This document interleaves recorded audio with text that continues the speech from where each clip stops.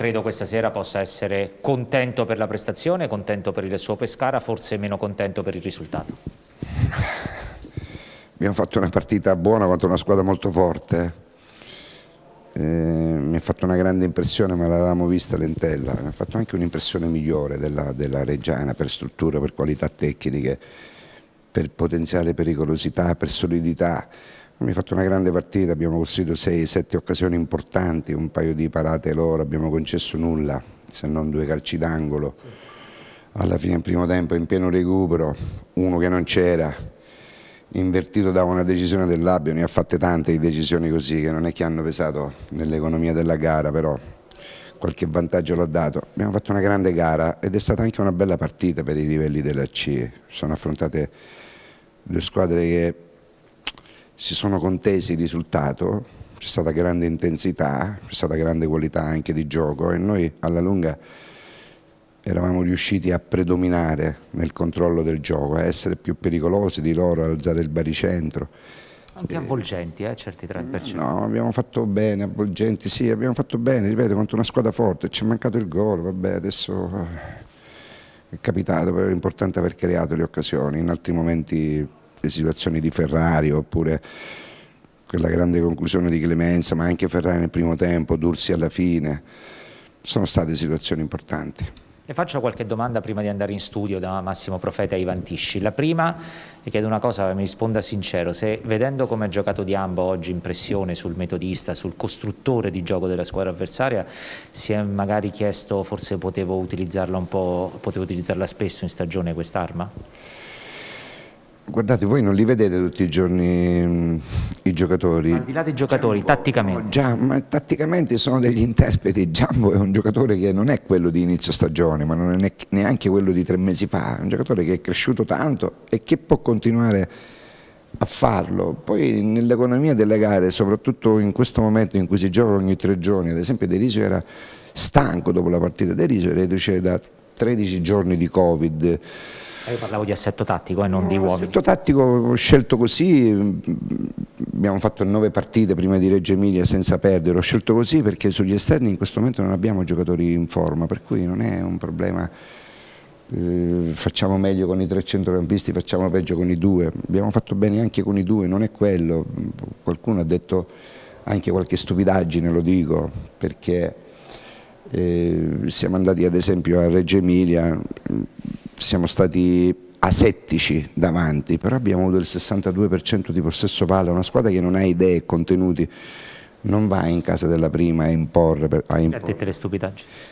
No, nessuno, che stupidaggine chi? Qualcuno ha detto stupidaggini nel senso che abbiamo ah, giocato brutta partita, invece non è così. Abbiamo... Bella non è stata però. No, ma non è stata neanche brutta, voi vedete alcune cose su cui io non sono d'accordo, bella no, perché siamo stati asettici davanti, perché siamo mossi poco e male, perché abbiamo creato pochissimo contro una squadra che subisce pochissimo, però se non avessimo idee e se non avessimo coralità di gioco non vai in casa della prima in classifica e fai il 62% di possesso palla che non vuol dire nulla, non è che vinci le partite così, c'è mancata un po' di pericolosità davanti e pronti via abbiamo fatto un paio di errori che hanno fatto passare in vantaggio la Reggiana, poi abbiamo fatto anche il secondo, però ci abbiamo provato fino alla fine, anche sull'1-0 abbiamo avuto una palla importante con un salvataggio sulla linea di porta di un loro attaccante che quasi sempre... No, questa sera, Auteri, prima delle domande da studio, non mi è sfugita la prestazione di Clemenza in fase di non possesso, è andata a recuperare no, tantissimi palloni. Bene, eh? bene, ma non solo non possesso, ha inciso, è stato pericoloso, poi ha fatto una grande conclusione, ha imbucato, ha fraseggiato eh, sono contento perché è ritornato il Clemenza che, che io mi aspettavo, eh, quindi certo che sì, ci mancherebbe altro. Quello di questa ha sera? Ho avuto la mia fiducia, quindi poi è chiaro che bisogna far, fare partite con continuità come quelle di stasera. Quello di questa sera è un tentativo di costruire Rauti tutta fascia in quello che era il ruolo di Nzita?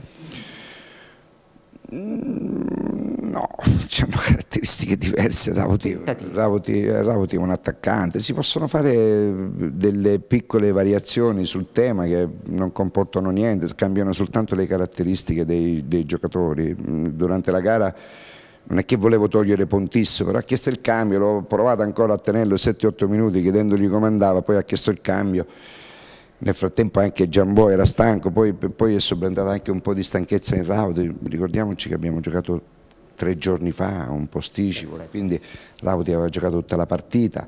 Se dovessi chiederle se lei lo definisce un 4-2-3-1 in fase di non possesso o un 3-4-2-1 in fase di possesso, quale per le grafiche dei giornali e quale preferisce? Chiamatelo come volete, no, vabbè, lo, de lo, decide l'allenatore. Se no vi do degli spunti. No, no, dai, come lo La cosa importante...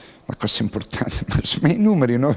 il calcio è fatto di movimento. Ma come lo preferisce chiamare? 3, 4, 2? Eh, no, rispondo, perché, rispondo, così perché il calcio è fatto di movimento, non è fatto... Allora era a 3 perché si, si, costruiva a 3 con fosse... Rauti tutta fascia. Bravo, si possono, sa quante squadre costruiscono a 3, poi giocano a 4, difendono a 4, più un quinto giocatore che può essere il centrocampista Posso fare una domanda cattiva? Come si fa a definirlo? Posso fare una domanda cattiva prima di dare la linea a Profeta in studio? Eh, quanto, quanto, vi siete sentiti con Matteassi e Sebastiani in questi giorni? Perché ci sono state delle dichiarazioni Presidente, forti. Non sentito, ma non l'ho proprio sentito, dichiarazioni forti. Io, devo, io che sono indipendente devo giudicare le dichiarazioni della proprietà, a parte che manco le so, perché poi tutto ciò che scrivete non è che lo vado a leggere proprio, eh, eh, eh, ma veramente lo dico.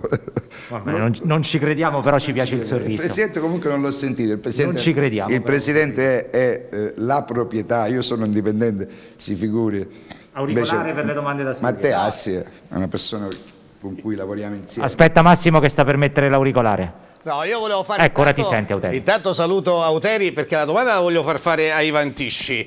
Eh, però mettiamoci d'accordo, mister, eh, mh, mm, eh, senza urtare la sua suscettibilità. Il Pescara di Reggio Emilia è stato piatto.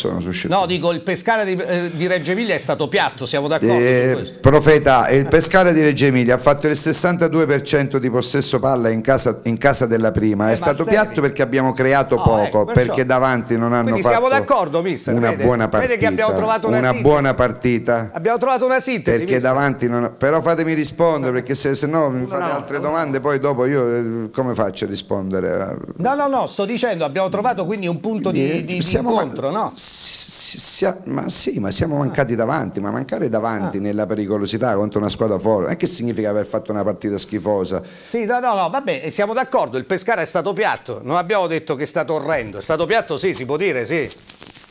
Mica le... abbiamo, abbiamo, fatto una buona partita con i tre attaccanti, eh, noi giochiamo sempre con i tre davanti. Davanti, non hanno fatto una buona partita, stasera invece hanno fatto bene. Eh, anche perché questa sera a, avete... A, a, Reggio Emilia l'unico più vivace è stato Rauti, Ferrari e Dursi non hanno fatto bene, Clemenza sì. stasera ha fatto bene, Ferrari ha fatto bene finché non ha prevalso su di lui la stanchezza, Rauti ha fatto bene, lo stesso come Ferrari. Ci cioè, c'è qualche scelta per uh, fermo? Oh, ma che scelta per fermo. Qua, Volevo da, far sorridere. Da domani si... Ma io sono sempre sorridente, ma soprattutto quando la mia squadra gioca e viva, quindi ripeto, contro una squadra forte. Però non ci crediamo che non ha letto il giornale. Ma sul serio, io non è che mi metto a leggere tutto, ma poi proprio in questo periodo qui, vedendo video degli avversari, vedendo video nostri, non c'ho manco il tempo di essere informato. Mister, Campo 24 ore. Mister, una domanda e chiudiamo. Ah, una domanda sì. velocemente da parte di Vantisci. Mister, buonasera. Mm. Intanto, intanto, buona, intanto vabbè, eh, complimenti perché come ho, detto, come ho detto prima al direttore, stasera ero allo stadio eh, mi è piaciuto molto mh, questo Pescara, l'atteggiamento che ha avuto da, dal primo minuto fino alla fine cercando di, di fare la partita.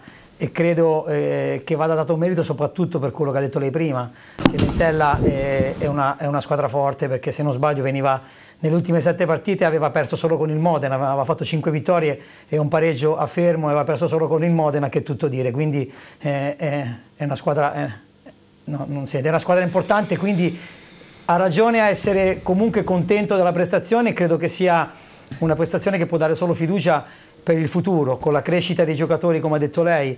Io mi sono permesso di sottolineare la prestazione di Clemenza perché rispetto alle altre, alle altre settimane si, si, è tornato a vedere un Clemenza propositivo che aveva voglia di determinare eh, sempre nel vivo dell'azione, poi è mancato veramente solo il gol, sia a lui che a tutta la squadra, quindi eh, più che una domanda volevo fare i complimenti e, e di buon auspicio per il futuro. Perché Grazie, sono, sono d'accordo. Eh, sono, sono convinto che potete giocarvi tranquillamente in una posizione migliore di classifica.